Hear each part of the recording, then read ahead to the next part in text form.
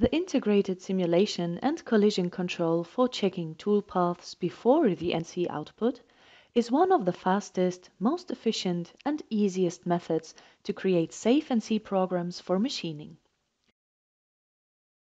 A prerequisite for safe manufacturing is checking not only against the finished part, but also consistently against the material actually present at the current time. The TEBIS material removal simulation can be consistently used for all types of machining. This ensures complete and reliable verification by taking all resources into account.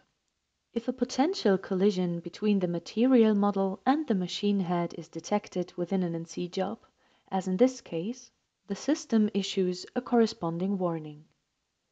As another example, the same applies for a potential collision between the material and holder.